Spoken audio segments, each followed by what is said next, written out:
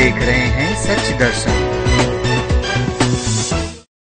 दिल्ली में अभी गर्मी पड़नी शुरू भी नहीं हुई है कि कई इलाकों में पानी की किल्लत शुरू हो गई है जहाँ पटेल नगर के बलजीत नगर में कई दिनों से पानी नहीं आने से परेशान लोगों ने। बीते सोमवार को शादीपुर चौक पर दिल्ली सरकार के खिलाफ जमकर नारेबाजी कर पुतला फूका और चक्का भी जाम कर दिया। ऐसे में लोगों का कहना है कि कई दिनों से यहाँ पानी नहीं आ रहा जिसकी वजह से लोगों को पानी के लिए काफ़ी परेशानी का सामना करना पड़ रहा है। मैं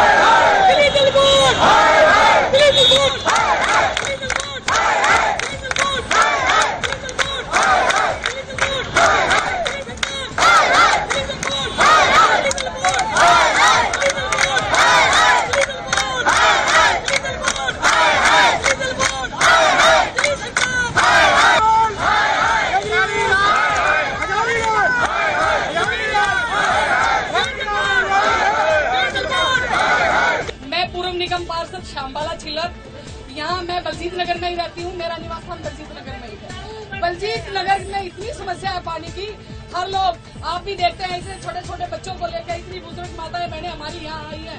इतनी समस्या है पानी की, ना हमारे विधायक जी सुन रहे हैं, ना दिल्ली सरकार सुन रही है। हम जाए तो जाए कहाँ ये हमारी पीड़ा है। हम पीड़ा को लेकर आज रोडों पाए हैं। हमारी मजबूरी है, हम भी समझते हैं, जाम लगता है, पब्लिक परेशान होती है। लेकिन हमारी सुनने वाला कोई नहीं है। अगर ये हमारे पानी का समाधान नहीं हुआ तो आने वाले समय में हम निश्चितकालीन निश्चितकालीन हड़ताल पर भी बैठेंगे। क्योंकि पब्लिक को एक उम्मीद है, पब्लिक के अंदर एक आक्रोश है। हमारे को पानी नहीं मिलेगा, बच्चे कहाँ जाएँगे? ये आप देख रहे हैं इतने छोटे छोटे बच्चे।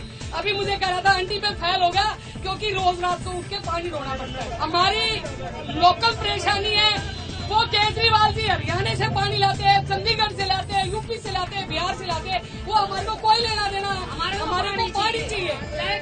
दिल्ली सरकार का काम है पब्लिक तक पानी पहुंचाना। पानी चाहिए हमारे को तो। ओडिशा चार चार दिन हो गए नहाए कपड़े धोए नहीं कपड़े हांटते हैं। बच्चे स्कूल चलिए से जाते हैं ड्यूटियाँ पर भी ऐसे चले जाते मगर चाय पिए नहीं जाते। भी नहीं मिलती उनको। पानी नहीं होगा। बड़े दिन से होगा पिछली साल अभी अब ये बता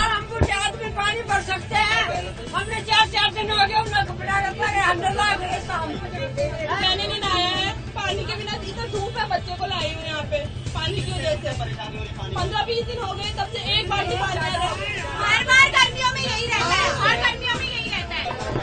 तेजपाल सिंह, पहले पानी की समस्या मतलब काफ़ी टाइम से ठीक होती थी। अब पिछले जब से ये सरकार आई है, इसने अपनी लाइनें चेंज कर दी, सारा वो ठीक चल रहा था। अपने भ्रष्टाचार का पैसा इकट्ठे करने के लिए इतनी इतनी बड़ी बड़ी लाइनें डाल दी। जिसकी कोई ज़रूरत नहीं थी। बिल्कुल पानी इन्होंने अपने जो इनके अहदेदार है उनकी जगह तो दे दिया। पूरे बलजीत नगर को इन्होंने खराब करके रख दिया। छोटे छोटे बच्चे ना स्कूल जा पड़ते हैं, ना कहीं हो जाते, जेई, जेडी, ये सब मिले हुए हैं। सारी भ्रष्टाचार का ये सारा कोई मामला है। इन्होंने पूरी बड़ी बड़ी लाइनें ठोक ठोक के मतलब अपना पैसा पूरा किया क्योंकि सरकार जाने वाली है।